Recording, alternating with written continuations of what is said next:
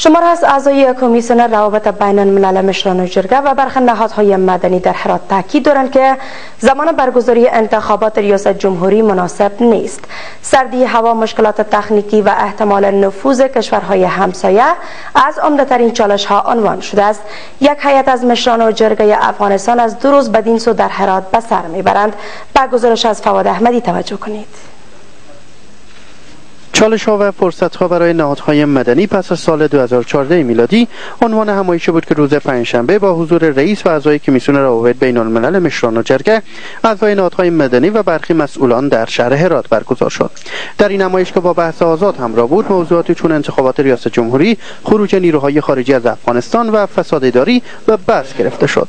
شماری از اعضای نهادهای جامعه مدنی نگرانی خود را از برگزاری انتخابات ریاست جمهوری در 16 حمل 1390 93 اعلام کردند یکی از او چالش های فنی گفتیم روند ثبت نام رای دهندگان تثبیت آمار رای دهندگان. و یکی چه تعداد از رای دهندگان ما داریم تا به حال مشخص نیست. ما آمار دقیق نداریم. کشورهای استخبارات همسایه به اینجا دخالت میکن چند نگرانی مطرح شد در نشست امروزی با مش... نمایندگان مشران جرگه که جمله بحث فساد اداری در کشور بوده. در همین حال عارف الله پشتون رئیس کمیسیون روابط بین الملل مجلس سنا نیز تایید کرد که برگزاری انتخابات در زمان تعیین شده با مشکلات نیز همراه خواهد بود و همچنان نگرانی خود را از نفوذ کشورهای همسایه در انتخابات ریاست جمهوری اعلام کرد. بخي موږ سره موافق یو خارجان او به خصوص زموږ ګاونډیان د افغانستان په اوسنیو چارو کې لاسوهنه کوي نه غواړي چې په افغانستان کې شفاف او تلپاتې انتخابات وسی نجیب حسینی عضو کمیسیون روابط بین الملل مجلس سنا می‌گوید اگر زمان تعیین شده انتخابات ریاست جمهوری تغییر داده نشود احتمال اینکه یک تعداد زیاد مردم در انتخابات شرکت نکنند حتمی است. این تاریخ درست نیست. به خاطر از اینکه در این صورت شاید یک سلس مردم افغانستان نتونه به انتخابات اشتراک بکنن. چون در اکثرا در اونجا دو فصل است. یعنی شش ماه زمستان است شش ماه بهار است.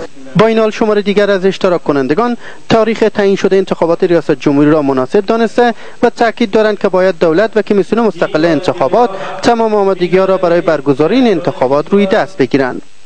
کابینه آلمان از دولت افغانستان خواسته است که پیش از خروج نیروهای نظامی بین المللی از این کشور باید در راستای اصلاحات و مبارزه با فساد اداری اقدام کند.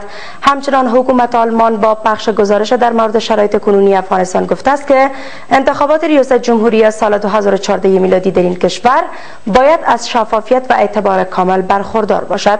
حکومت آلمان بر تسریع روند مصالحه در داخل افغانستان نیز تاکید کرده است. همکارم ناصر احمدی از آلمان گزارش دارد کابینه آلمان روز چهارشنبه در مورد افغانستان تشکیل جلسه داده و طرح تازه مأموریت این کشور در افغانستان را مورد تصویب قرار داد. بر اساس این طرح مأموریت سربازان آلمانی برای چیز بیشتر از یک سال دیگر در افغانستان تمدید شد. همچنان قرار بران شد که شمار نیروهای نظامی آلمان در افغانستان تا اوایل سال 2014 میلادی از 4600 تن به 3300 نفر کاهش یابد. این طرح برای تایید پارلمان نیز نیاز دارد.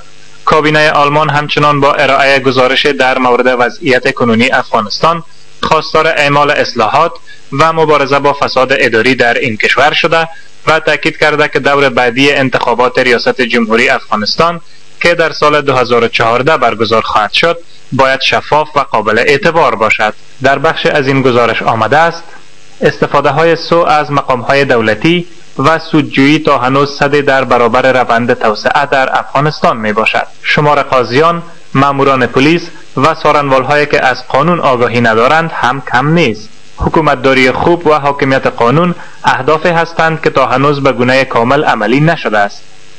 در این گزارش بر روند مصالحه نیز تاکید شده و آمده است صلح پایدار زمان در افغانستان امکان پذیر خواهد بود که این دوند در داخل کشور پیشرفت‌های داشته باشد اما این کار تا هنوز تحقق نپذیرفته و بخشهای از این کشور با وجود بهبودی های اندک به ثبات است وزارت های دفاع خارجه و همکاری های توسعه آلمان همه ساله با ارائه چنین گزارش های در مورد شرایط افغانستان به حکومت و پارلمان کشورشان معلومات ارائه می کنند.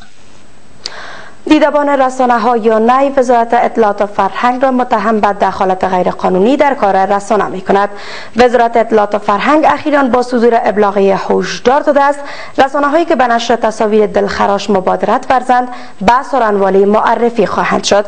اکنون مسئولان دیدبان رسانه ها می گویند این ابلاغیه بهانه برای محدود ساختن آزادی رسانه ها می باشد اما وزارت اطلاعات و فرهنگ این ادعا را رد کرده و می گوید این اقدام را بر بنیاد تامین سلامت روان جامعه گرفته است.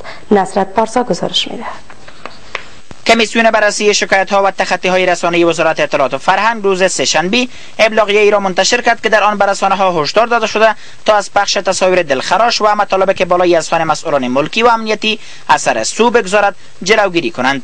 در غیر آن مورد پیگرد قانونی قرار می گیرند صدیق الله توحیدی مسئول نه یا دیدبان رسانه ها انتشار این ابلاغیه را بهانه برای محدود ساختن کار رسانه ها می‌داند.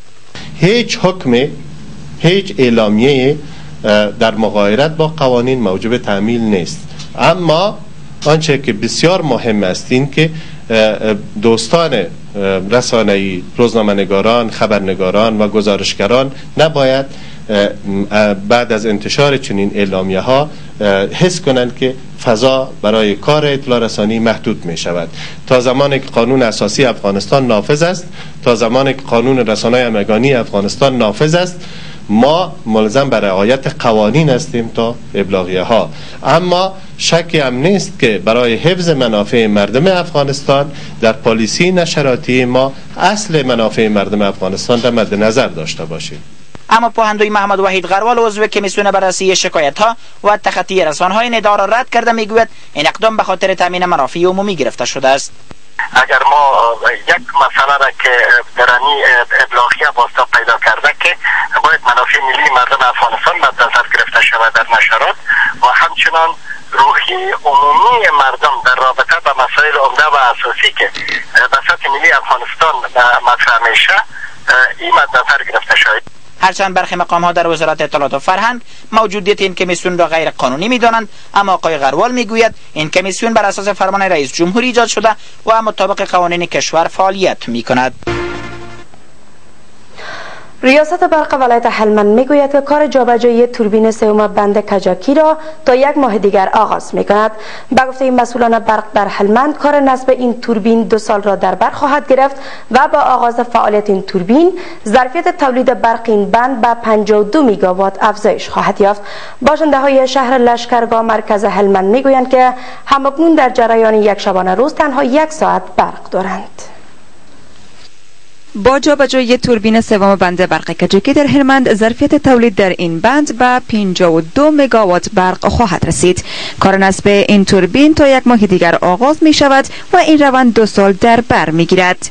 ریاست برق هلمند میگوید که با آغاز فعالیت این توربین مشکلات مردم از ناحیه کمبود برق در هلمند مرفوع خواهد شد.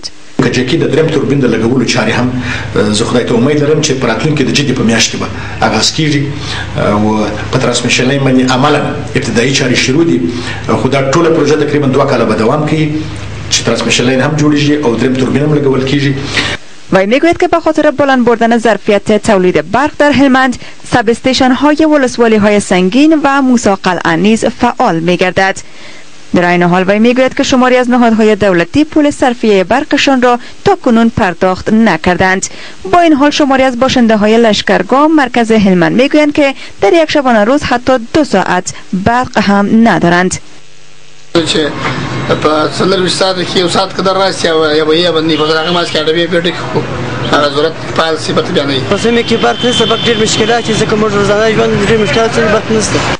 توربین سوم بند کجکی سه سال پیش با وجود مشکلات زیاد به این محل انتقال داده شد اما تاکنون برای نصب آن اقدام صورت نگرفته است.